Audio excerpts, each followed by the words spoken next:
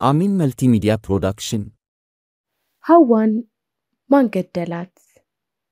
ደራሲ አብዲ ኢኽላስ፣ ተራኪ ኢናያ። ክፍል አንድ። ለወትሮው ሳቅና ጨዋታ የማይለያት ፍንድቅድቋና ውብ እናት የነበረችው ሐዋ ዛሬ ባልተለመደ መልኩ ፊቷ ጨለም፣ ስሜቷም ራድ፣ ሰውነቷም ቀዝቀዝ ብሏል። ይህ ሁኔታ በጣም ያስፈራቸው እጅግ የሚወዷትና የሚሳሱላት ሁለት ትንንሽ ልጆቿ ካሊድ እና ሱመያ ስለምንም ባለ ምልከታ በፍርሃትና ግራ በመጋባት ስሜት ደጋግሞ ይመለከቷታል። ነገር ግን ሐዋ የእነሱ ሁኔታ ግርም ያላት አትመስልም። ብቻ የራሷ ስሜት ውስጥ ሆና ግራ በገባው መንፈስ አንዴ እላይ አንዴ እታች ታማትራለች።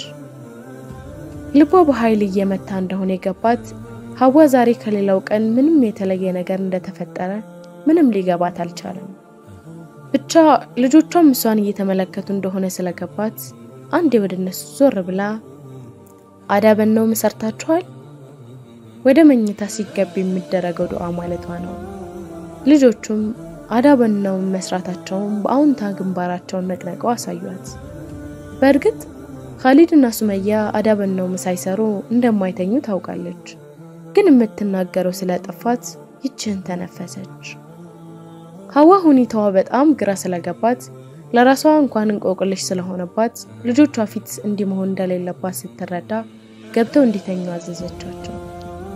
ነገር ግን ካሊድም ሆነ ሱመያ እንቅልፍ እንደማይወስዳቸው እሷም እነሱም በደንብ አሳምረው አውቀዋል። ከዛም አልፎ ውስጣቸው የተፈጠረውን ጥያቄ ቢጠይቋት ባለችበት ስሜት በመጥፎ ሁኔታ እንደምታመነጫጭቀቻቸው አሊያም እነሱ ስሜቷን እንደተረዱ በማወቋ ይበልጥ እንድትፈራ ስለተረዱ ይመስል ብቻ ዝም ብለው አተያይተው ወደ ክፍላቸው ገቡ። ነገር ግን ሱመያ ምናልባት ልጅነት ስላለባት ቶሎ እንቅልፍ ወሰዳት። ካሊድ ግን አይኑ እንደፈጠጠ ግራ እንደገባው ጆሮውን ወደ በር ለጥፎ የእናቱን እንቅስቃሴ አንድ በአንድ መከታተሉን ያዘ። ሐዋ በጣም ግራ ተጋብታለች። ውስጧ በጣም ፈርቷል። ምን እንደተፈጠረ ዛሬ ምን እንደነካት በቅጡ አልገባትም። ብቻ ልቧ በሀፍረት ርዶባታል። ነገር ግን ዛሬ እንቅልፍ ካልወሰዳትና ካልተኛች ከዚህ ስሜት እንደማትወጣ ስለገባት ወደ እንቅልፏ ስታመራ ሁልጊዜ ለስለስ ባሉ አማርኛዎች እጅግ ውብ በሆኑ ቃላት እያጽናና እያለሰለሰ የሚያስተኛትን የልጆቿ አባት ክፍለ ሀገር ለፊልድ ስራ ላይ ታች የሚማትረውን የምንጊዜውም ጀግናዋን የቁርጥ ቀን ወንድ ብቸኛ የእሱ ልዩ ሰው ሰሚር ዛሬ በስልክ ደውላ እሱም ማውራት እንዳለባት አመነች። እሱም ማናገር እንደምትችል ትዝ ሲላት በደስታ እየተፍለቀለቀች ስልኳን አውጥታ ቁጥር መታች። ነገር ግን ህይወትኛ እንደምትፈልገው ቢሆን ኖሮ ምንኛ ባማረ ምንኛ ጣፋጭ በሆነ ነበር። የሰሚር ስልክ ጥሪ አይቀበልም። ይበልጥ ግራ ገባት፣ ውስጡ አፈራ። በአንድ በኩል በእሷ መጨነቅ አብሯት በሰቀቀን ውስጥ ያለው ካሊድ ድምፁን ቾክ አድርጎ ቁርአን ቢቀራ እንደ ሌላ ጊዜ ደስ እንደሚላት ዛሬ ግን እንደማይሆን አምነዋል። ምክንያቱም ካሊድ ለእሷ ቁርአን የሚቀራላት ሰኞና ሐሙስ ድምፁን ከፍ አድርጎ ነውና ዛሬ ቀኑ ረቡዕ ነው። በዛሬ ቀን ይሄን ቢያደርግ ይበልጥ እንደሚያስጨንቃት ስለገባው ድምፁን ቀንሶ የሚወደውን የቁርአን አያ ለመቅራት ወሰነ። ሱረቱል ያሲን።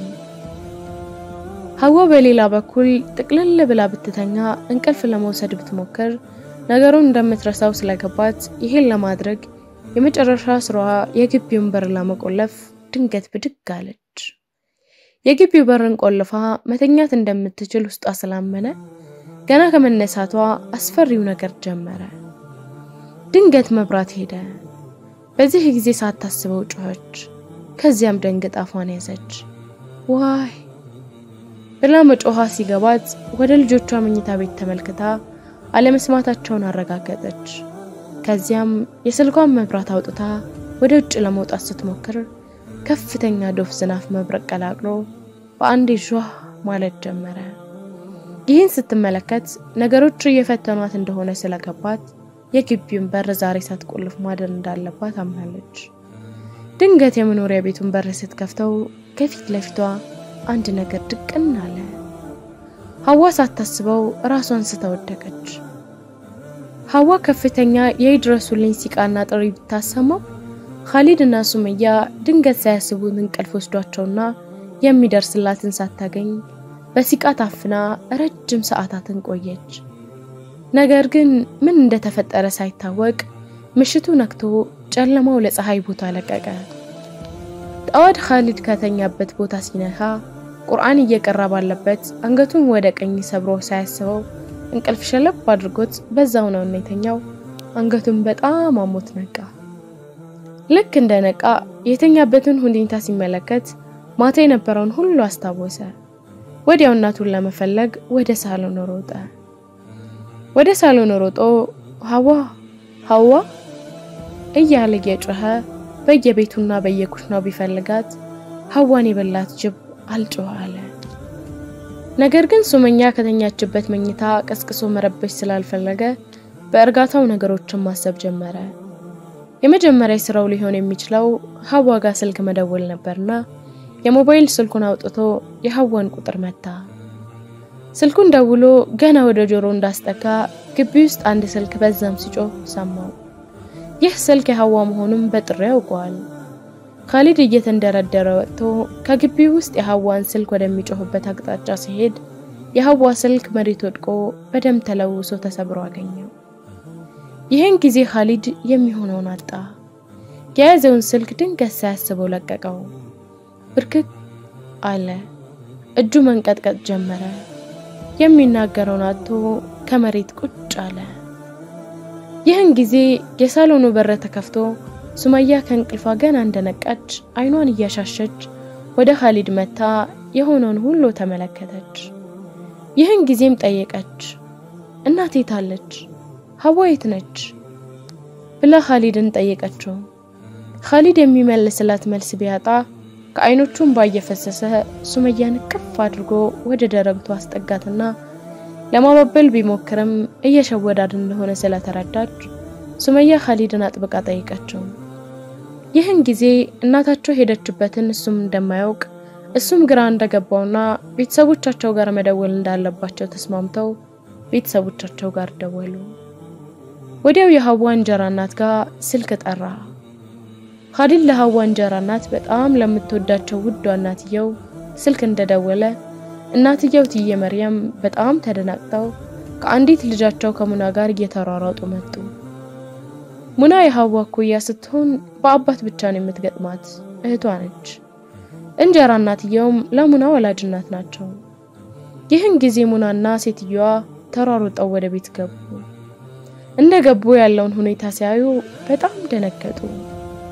ሙና ለወትሮ ከሐዋ ጋር የምትስማማ ትምሰል እንጂ በጣም እልህ ያለባት በሐዋ የምትቀናና በሐዋ ቁንጅና ሰዎች ለሐዋ በሚሰጧት መውደድና እያንዳንዱ ነገሮች የሚያስቀናት እኩያሞች እህቷ ነች። ሐዋና ሙና መንትዬ የሚመሳሰሉ ሁለቱም የሚያምሩ ናቸው። እትዬ መርየም ወደ ቤት እንደገቡ ኻሊድን እቅፍ አድርገው የተፈጠረውን ሁሉ ጠየቁት። እሱም አንድ በአንድ ከምሽት ጀምሮ ሐዋ የነበረችበትን ስሜት አንድ ሳያስቀር እያንዳንዱን በዝርዝር አስረዳቸው። ይህን ጊዜ እትዬ መርየም እጅግ ግራ ተጋቡ። ልጅ ምን ነክቷት ይሆን? ምን አገኘብኝ? እሷ የሞት ልጅ ነች። እሷ ተወዳጅ ነች። ሰው ላይ የማትደርስ ሰው የማትነካ ውድና ምስኪን ልጅ ነች። ዛሬ ምን አይነት ሰይጣን አገኛት ይሆን ብለው እንባቸውን ለቀቁት። ይህን ጊዜ ሙና በእናትየው ለቅሶ ተናዳ ምን ያስለቅስሻል?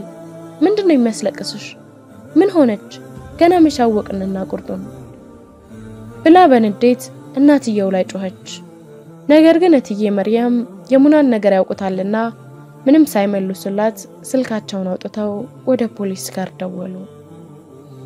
ከሰዓታት በኋላ ግቢውን ፖሊስ ወረረው።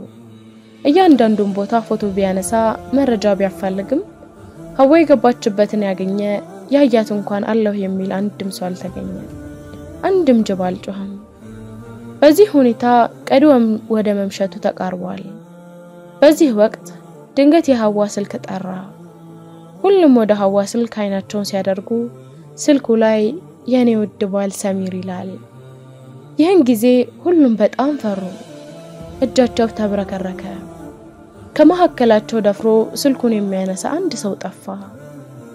ሰሚር እጅግ መልከ መልካም የሆነ የዋህ ተወዳጅ የቀይ ዳማ ፊት ያለውና ባለሉጫ ጸጉር ረዘም ያለ ወጣት በጣም ሲበዛ ሀዋን የሚወድ በፍቅራቸው የሚቀናባቸው ለባለቤቱ ተገቢውን ጊዜ መስጠት የሚችል ልጆቹንና ቤተሰቡን የሚወድ እጅግ በጣም ተወዳጅ ወንድ ነው። ሰሚር ስልኩን ሲደውል ሙና ድንገት ተቅለብልባ ስልኩን አነሳቸው። ወዲያውኑ ሄሎ ሰሚርዬ አለች። በዚህ ሁኔታዋ ሁሉም ግራ ተጋቡ። እትዬ መርየም በቆሪጥ ወደ ጎን ተመልክተዋት አፋቸውን እንደማሽሟጠጥ አሉ። ይህ የሆነበት ምክንያት ሙና ለሰሚር ያላት ስሜት እጅግ ግራ ስለሚያጋባና በጣም በሀዋ ስለምትቀናባት በእህቷ ቀምቴ የምትወስድ ስለምትመስል እጅግ ስለምትወደው ነው። በዚህ ሁኔታ ውስጥ ሰሚር አንድ ጥያቄ ጠየቀ። የሚወዳት ሚስቴ የልጆቼ እናት ሀዋ የት ሄዳ ነው ሲል ሙና ተቅለብልባ ቀለል ባለ ስሜት አይ ሻወር ልትጣጠብ ገብታ ነው ብላ ቀለል ባለ ስሜት መለሰችለት። ነገር ግን የሰሚር ምላሽ እንደ ሙና ቀላል አልነበረም። በይ እንግዲህ አሁን እየመጣሁ ነው፣ በቃ ከትንሽ ደቂቆች በኋላ ስለምደርስ ሀዋን ተዘጋጅታ እንድትጠብቀኝ ንገሪያት ብሎ ቆሎዋን ገፈፈው። ይህን ጊዜ ሙና ደንግጣ ስልኩን ከእጇ ላይ ለቀቀችው። አሁን ከምሽቱ አስራ ሁለት ሰዓት ሆኗል። ሁሉም እጅግ ግራ በተጋባ ስሜት በፍርሃትና በጭንቀት ተውጠው እርስ በእርስ እየተለያዩ ተቀምጠዋል። በአንድ በኩል ሀዋ ሞታለች ብለው እርማቸው እንዳይወጡ አሊያም አልቅሰው ለቀስተኛ እንዳይጠሩ የሀዋ ሬሳ አልተገኘም። አለች ብለውም እንዳያስቡ ሀዋ የት እንዳለች ማወቅ አልቻሉም። ግራ ተጋብተዋል። በሌላ በኩል ሰሚር እየመጣሁ ነው በማለቱ ለሀዋ ያለው ፍቅር እና አክብሮት ስለሚያውቁ እጅግ በጣም እንደሚጎዳና እንደሚደነግጥና ሕይወቱ አደጋ ላይ እንደሚወድቅ ስላሰቡ በጣም ሰግተዋል። ከሁሉም በላይ ሰሚር ያለበት የልብ ድካም በጣም አስጨንቋቸዋል። ምክንያቱም ከዶክተር የታዘዘለትን መድኃኒት በመውሰድ ላይ የሚገኘው ሰሚር ከፍተኛ የሆነ ደስታም ከፍተኛ የሆነ ሐዘንም ሕይወቱን ሊቀማው እንደሚችል ዶክተሩ ነግሮታል። ይህንን መላ ቤተሰቡ በማወቁ ዛሬ ጭንቀታቸውን እጥፍ ድርብ አድርጎታል።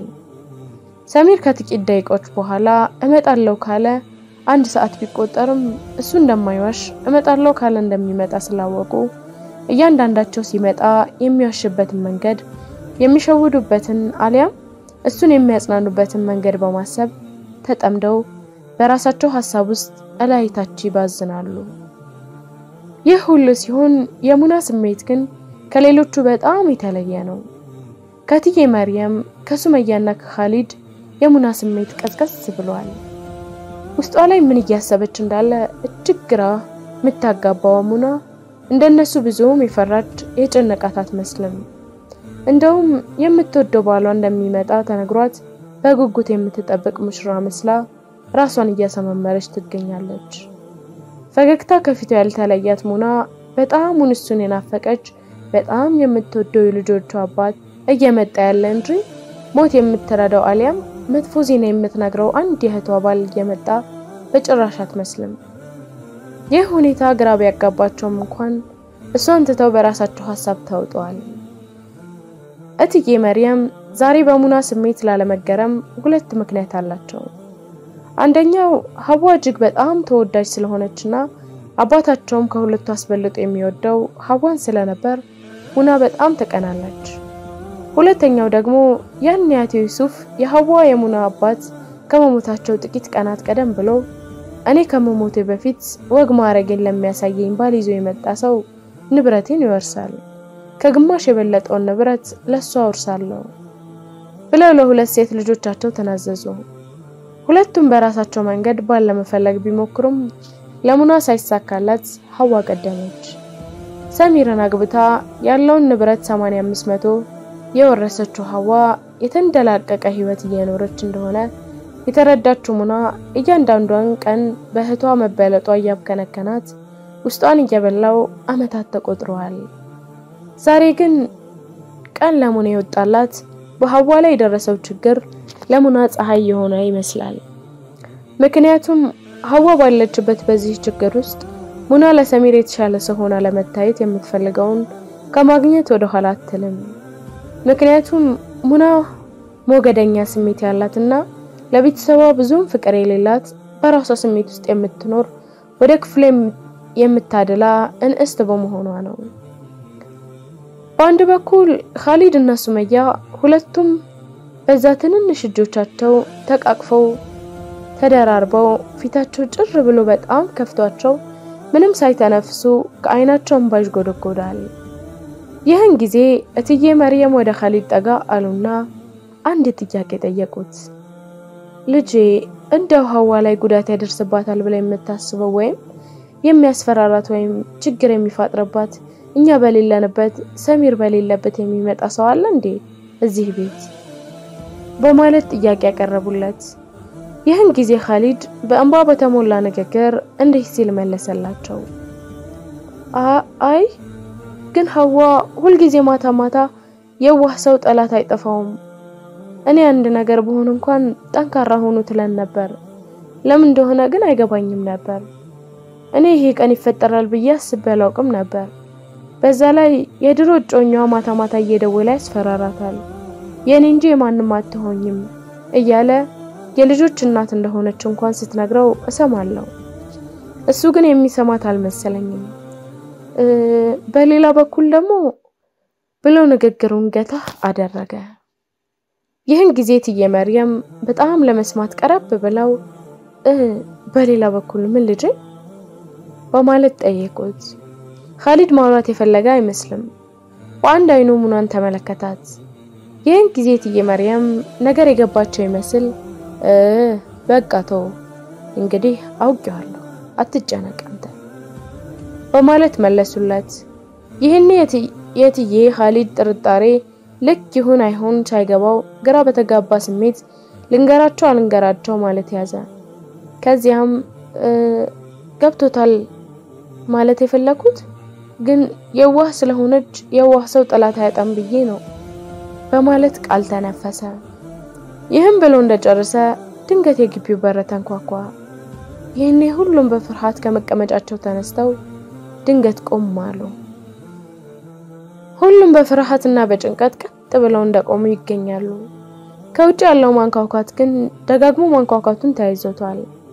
የግቢው በር በተደጋጋሚ በመንኳኳቱ ግራ የሚያጋባ ስሜት ውስጥ ገቡ። ምክንያቱም ሰሚር ከሆነ የመጣው የግቢውም ሆነ ሳሎኑ ቁልፍ አለውና ለምን ለራሱ ከፍቶ አይገባም ሲሉ ራሳቸውን ይጠይቃሉ። ሰሚር ካልሆነ ደግሞ በዚህ መንሽት የሚያንኳኳው ምናልባትም ሀዋ ላይ ክፉ ድርጊት የፈጸመባት ይህ እኩይ ሰው ሊሆን ይችላልና ማን ከመካከላቸው ከፍቶና ደፍሮ ሊወጣ እንደሚችል ግራ ተጋብተው ይታያሉ። በዚህ ሁኔታ ውስጥ እንዳሉ ከተደጋጋሚ ማንኳኳቶች በኋላ ድንገት የሳሎኑ በር ተከፍቶ አንድ ሰው ብቅ አለ። ያ ባለ ግርማ ሞገሱ ፊቱ የሚያበራውና ውድና ተወዳጁ ሰሚር ድንገት ገባ። እስካሁን ድረስ ቁልፍ እያለው ደጅ ላይ ሆኖ ቢያንኳኳ የነበረው ከሰዓታት በፊት ደውሎ በነበረበት ሰዓት ያናገረው ሙና ነበረችና ምናልባት ዛሬ ቤታቸው መጥተው በነበሩበት ሰዓት አይብ ይኖራቸዋልና ድንገት ከፍቼ ብገባባቸው የማይሆን ነገር እንዳለመለከት ሲል ሀያ አድርጎ ነበር። ሰሚር ገና ከደጅ ሲገባ ልክ ሰው ከኤርፖርት እንደሚቀበሉ ነገር ሁሉም ተደርድረው ሲጠብቁት ግር መሰኘቱ አይቀርም። ከዛም ካሊድ እና ሱመያ ተራሩጠው አባታቸው ላይ ተጠመጠሙ። ናፍቆታቸውንም እቅፍ ሳም አድርገው ከተወጡ በኋላ እትዬ መርየምና ሙላን ተከታትሎ የሚገባቸውን ሰላምታ ሰጣቸው። በመቀጠልም ከወንበሩ ላይ ቁጭ አለ። የሰሚርና የሀዋ ቤት እጅግ ለአይን የሚማርክ ውብና ግማሽ ሶፋ እንዲሁም በግማሽ አረቢያን መጅሊስ የሚያምር ጂፕሰን የተቃኘ ውብ ቤት ነው። ሰሚር ለጥቂት ሰከንዶች ብቻ አረፍ እንዳለ ወዲያውኑ ተጠባቂውን ጥያቄ አፈፍ አደረገው። ሀዋ የት ሄዳ ነው? ወይንስ እስካሁን ከሻወር አልወጣችም? በማለት ቀልድ የታጀበ ጥያቄ ያቀረበ።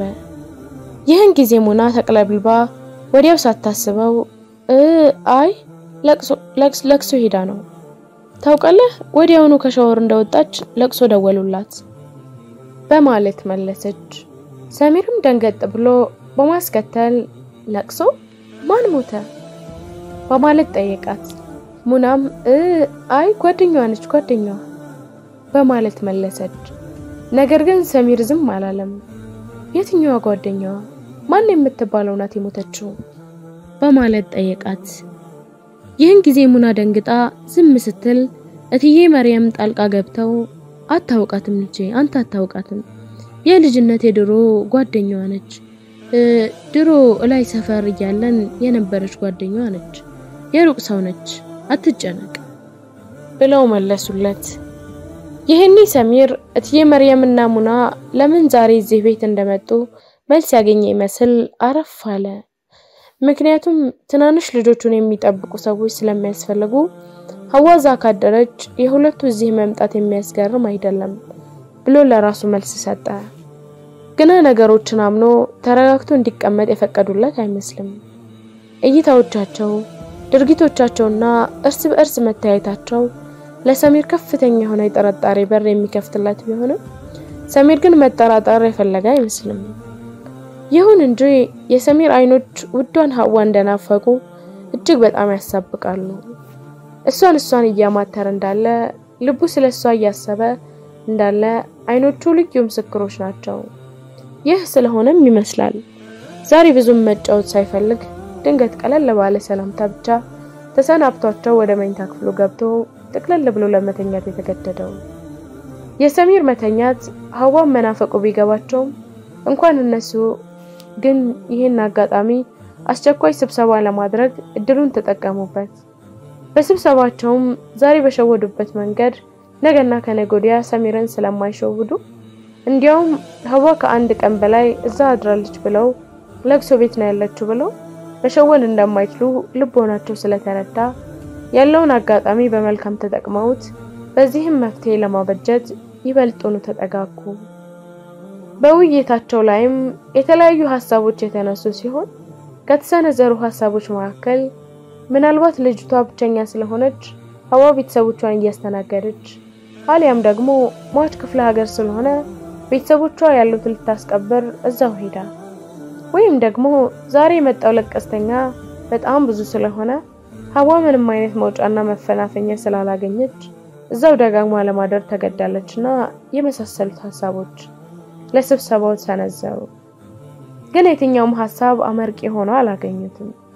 ምክንያቱም በሰሚር አመለካከት ሀዋ ባሏ ከፊልድ መጥቶ ሰሚር ቤት ድረስ ተገኝቶ እንኳን ሰው ሞተ ባሏ ራሱ እንኳን ብትሞት መቃብሩን ፈንቅላ ትመጣለች እንጂ እዛው የምትቀር አይደለችም።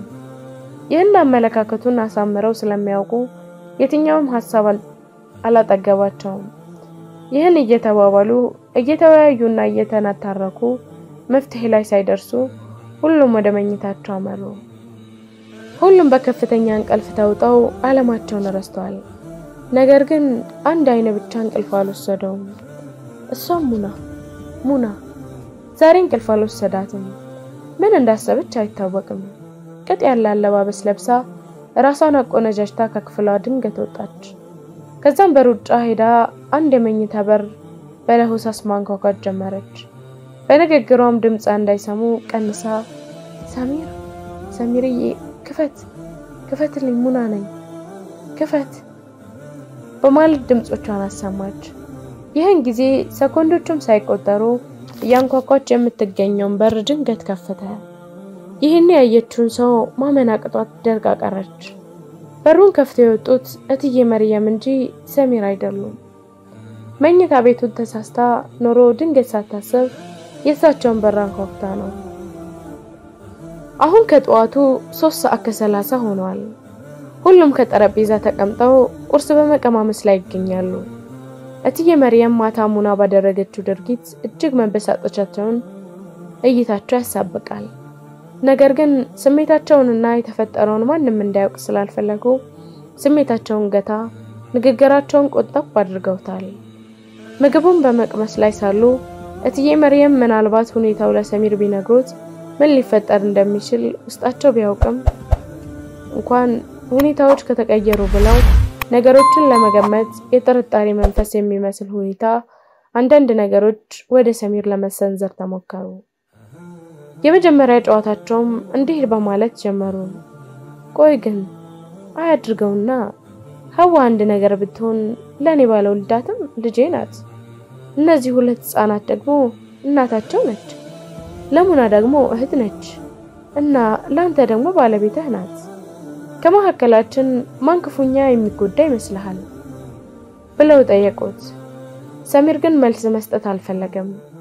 ፊቱ ጥቀርሻ ሲመስል፣ አይኖቹ ሲቀሉ፣ እጅጉ በጣም ሲበሳጭና የማይሆን ስሜት ውስጥ ሲገባ ይሰብቃል። ምክንያቱም እትዬ መርየም እያሉ ያሉት እኔና አንተ ለሀዋ የስጋ ዝምድና የለንም። ትናንሾቹ ልጆቻችንና ሙና ግን ከሀዋ በስጋ ዝምድናም ጭምር ይቆራኛሉ እና አንተና እኔ ይበልጥ አንጎዳም እያሉ እንደሆነ በደንብ ገብቶታል። ነገር ግን እጅጉን ስለሚያከብራቸውና ስለሚፈራቸው ቃል መተንፈስ አልፈለገም።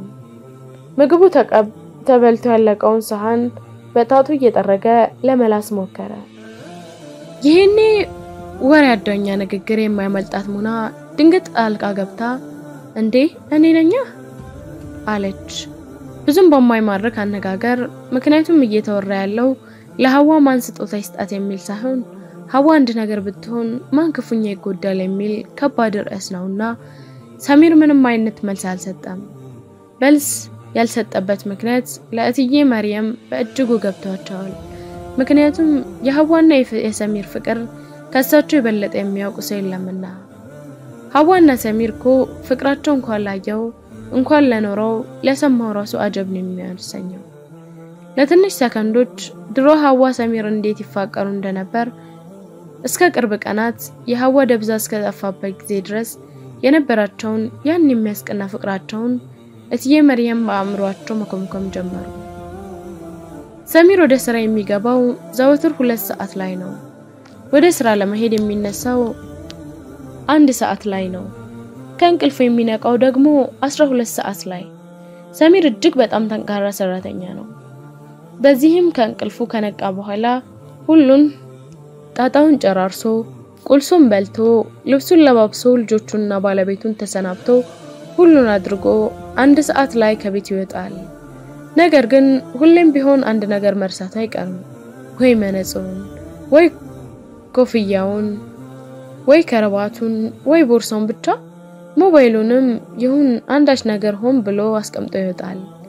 ይህን የምታውቀው ሀዋ የረሳውን ነገር ቶሎ አፋልጋ ድንገት ካስቀመጠበት በማግኘት በመስኮት በኩል ሰሚር ሰሚር ቆይ ብላ ታስቆመውና የሮጠች ተንደርድራ ሄዳ ትሰጠዋለች።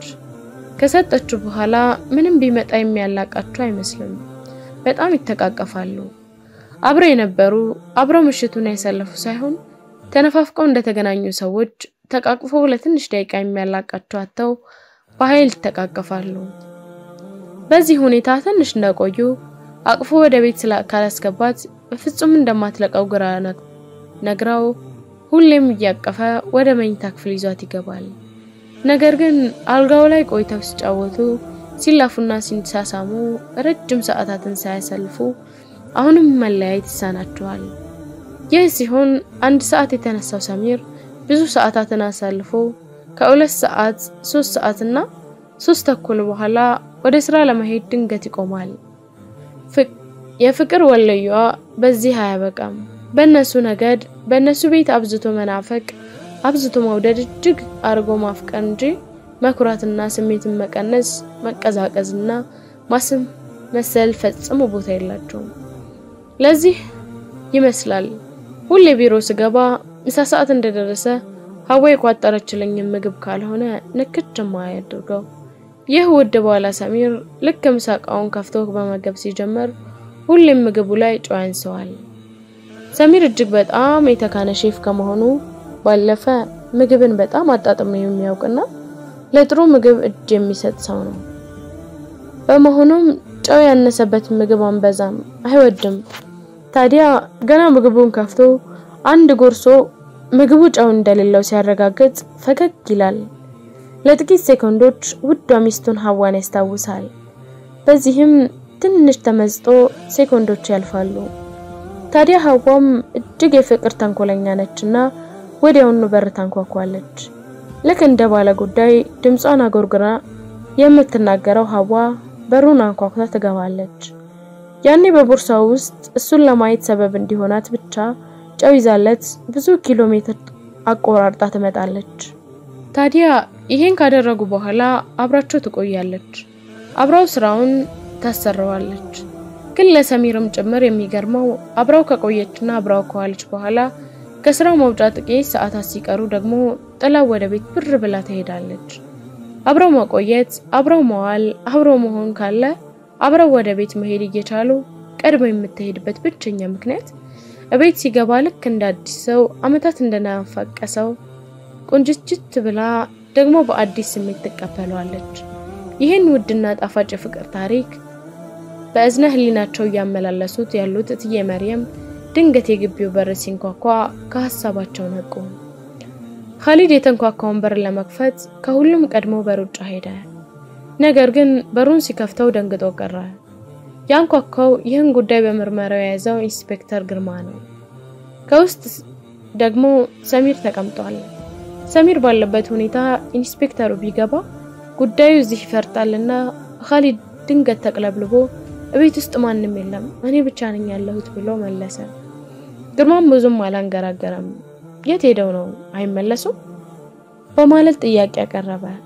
ካሊድም አዎ ዛሬ ቤት አይመጡም፣ ነገ ነገ ነው የሚመጡት፣ ዛሬ ነኝ ቤት የምንጠብቀው ብሎ መለሰለት። ግርማ ብዙ አላንገራገረም። በቃ ሲመጡ መጥቼ እንደነበር ነገራቸው በማለት ቀለል ባለ አማርኛ ተሰናበተው። ካሊድም በኃይል እየተነፈሰ በሩን ዘጋ። ነገር ግን ድንገት በሩን ዘግቶ ሲቆም ከኋላው ሰሚር ቆሟል። ጠየቀው፣ ማን ነው በሩን ያንኳኳው? ካሊድ ድንጋጤ ላይ ነበርና ያለውን እንኳን ሳያውቅ ድንገት ካፉ አምልጦ ፖሊስ ብሎ ተነፈሰ። ክፍል ሁለት ይቀጥላል። ለቻናላችን አዲስ ከሆናችሁ like, share, subscribe amar rek, bir sebi honu.